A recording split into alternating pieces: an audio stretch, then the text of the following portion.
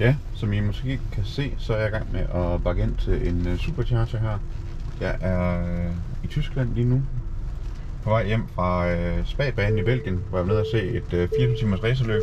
Og jeg har kørt de første uh, 250 km nu, og cirka 750 tilbage eller sådan noget. Um, og uh, nu skal vi lige prøve at have lidt strøm på bilen. Se dernede på uh, 7% lige nu. Øhm, så betyder at vi burde kunne lade hurtigt på øh, den her B3 øh, Supercharger ved Notullen i Tyskland. Så lad os lige prøve det. Så øh, tager simpelthen bare lige stikket her, trykker på knappen for at åbne ladeporten, stikker den i bilen. Vi kan se, at øh, T'et det øh, blinker blåt, fordi den kommunikerer med bilen, og øh, den vil lyse grønt, snart den begynder at lade bilen. Det gør den allerede. Det er rimelig hurtigt øh, handshake.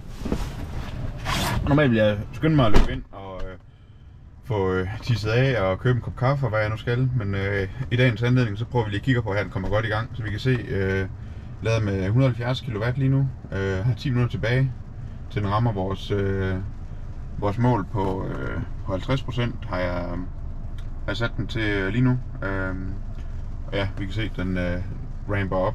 Øh, så vi er faktisk ja, nu oppe på over 250 kW. Lige omkring 250 kW, som faktisk er max for, for bilen. Øhm, og et mega godt tip, når man har rigtig, rigtig travlt og skal komme hurtigst muligt frem på, på en lang tur som nu, det er øh, prøv at ramme de her V3 Supercharger, som man kan kende ved, at der kun er et kabel, og det er et tyndere kabel.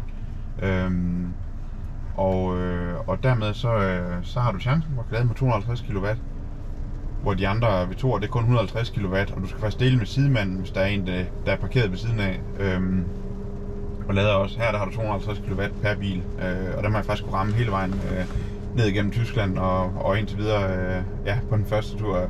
Det første stop her på, på hjemturen øh, har det også været en, øh, en V3'er. Så øh, ja, 9 minutter til på 50 procent.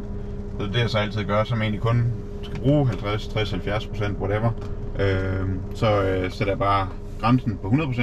Jeg har absolut ikke tænkt mig at lade op til 100%, men, øh, men ved at gøre det, så, øh, så ved jeg, at den står og gør noget konstruktivt, mens jeg, øh, mens jeg er inde for tisset af, og måske får lidt at spise, eller hvad jeg nu skal.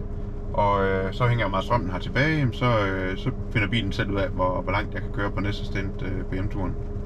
Så øh, det var det hele.